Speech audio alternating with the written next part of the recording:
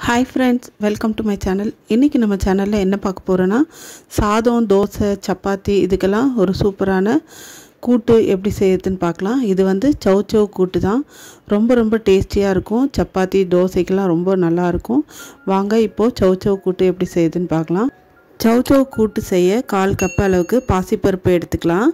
ஒரு தடவை தண்ணி ஊற்றி நல்லா கழுவிடுங்க. நல்லா கழுவிட்டு ரெண்டு கப் அளவுக்கு தண்ணி சேர்த்துட்டு ஸ்டவ் மீடியம் ஃப்ளேம்லேயே வச்சுட்டு நல்லா வேக வச்சு எடுத்துக்கலாம்.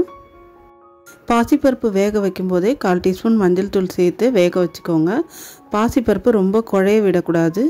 இந்த அளவுக்கு வெந்தால் போதும். இந்த மாதிரி வெந்தால் போதும். நான் இன்றைக்கி கூட்டு செய்யறதுக்காக ஒரு சவுச்சவ் எடுத்து கட் பண்ணிவிட்டு தோலை சீவிட்டு பொடியாக கட் பண்ணி சேர்த்துக்கிறேன். சவுச்சவ் வந்து கையில் பிசு பிசுன்னு ஒட்டாமல் எப்படி ஈஸியாக கட் பண்ணுறதுன்றது நான் ஒரு வீடியோ போட்டிருக்கேன் கிச்சன் டிப்ஸுன்ற வீடியோ நீங்கள் தேவைப்பட்டால் அதில் செக் பண்ணி பாருங்கள் கையில் ஒட்டாமல் ரொம்ப ஈஸியாக எப்படி சவு சவு கட் பண்ணுறதுன்னு பாருங்கள் பாசிப்பருப்பு நீங்கள் வேக வைக்கும்போது பாதி அளவு வேக வச்சாதான் காய் கூட வேகும்போது நல்லா வெந்து கரெக்டாக இருக்கும். இப்போ பாருங்கள் நல்லா வெந்துருச்சு. கூட்டுக்கு தேவையான அளவு உப்பு சேர்த்துக்கலாம். உப்பு சேர்த்துட்டு நல்லா கலந்து விட்டுட்டு வேற ஒரு பவுலுக்கு மாற்றிடுங்க மாற்றிட்டு நம்ம கூட்டு தாளிச்சிடலாம். மார்னிங் ஆஃபீஸ் போகிற டைமில் இந்த மாதிரி கூட்டு ரெடி பண்ணி வச்சுக்கிட்டாக்கா சப்பாத்திக்கு சாப்பிடலாம் சாதத்துக்கு சாப்பிடலாம். நமக்கு ஈஸியாக வேலை முடியும். கூட்டு தாளிச்சிடலாம் இப்போது ஒரு கடாயில் ஒரு டீஸ்பூன் எண்ணெய் சேர்த்துட்டு கால் டீஸ்பூன் கடுகு கால் டீஸ்பூன் ஜீரகம் சேர்த்து. கடுகு ஜீரகம் நல்லா பொரிஞ்சதுக்கப்புறமா ஒரு மீடியம் சைஸ் வெங்காயம் பொடியாக கட் பண்ணி சேர்த்துக்கலாம். ரெண்டு பச்சை மிளகாய் ஒரு கொத்து கருவேப்பிலை சேர்த்து நல்லா வதக்கி விட்டுடலாம். வெங்காயம் ரொம்ப வதங்கணும்னு அவசியம் இல்லை லைட்டாக வதங்கினா போதும். மீடியம் சைஸில் ஒரு தக்காளி சேர்த்துக்கலாம் இப்போது தக்காளி நல்லா வதக்கியாச்சு. ரெண்டு டீஸ்பூன் அளவுக்கு சாம்பார் பொடி சேர்த்துக்கோங்க.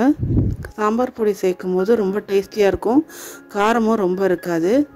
சாம்பார் பொடியும் நல்ல பச்சை வாசனை போகிற அளவுக்கு வதக்கிடலாம். கூட்டுக்கு நீங்கள் தேவைப்பட்டால் தேங்காய் துருவி சேர்த்துக்கலாம் லாஸ்ட்டாக தேங்காய் துருவி சேர்த்துக்கலாம். தேங்காய் அரைச்சும் போடலாம். தேங்காய் அரைச்சி போட்டிங்கன்னா இன்னும் கொஞ்சம் நல்லா கிரேவியாக இருக்கும். இப்போது நம்ம வேக வச்சுருக்கிற சவுச்சவை இதில் சேர்த்துடலாம். சேர்த்துட்டு நல்லா கலந்து விட்டுருங்க. அப்போ தான் அந்த மசாலா நல்லா எல்லாமே மிக்ஸ் ஆகி ரொம்ப டேஸ்ட்டாக இருக்கும். இப்போது சவுச்சவ் கூட்டு ரெடி ஆயிடுச்சு. ரொம்ப ரொம்ப டேஸ்டியான சவுச்சவ் கூட்டு. இட்லி தோசை சப்பாத்தி சாதம் எல்லாத்துக்குமே ரொம்ப ரொம்ப நல்லாயிருக்கும். நீங்களும் ட்ரை பண்ணி பாருங்கள் இந்த வீடியோ உங்களுக்கு பிடிச்சிருந்ததுன்னா லைக் பண்ணுங்கள் உங்கள் ஃப்ரெண்ட்ஸ் கூட ஷேர் பண்ணிக்கோங்க. மறக்காமல் சப்ஸ்கிரைப் பண்ணுங்கள் தேங்க்ஸ் ஃபார் வாட்சிங்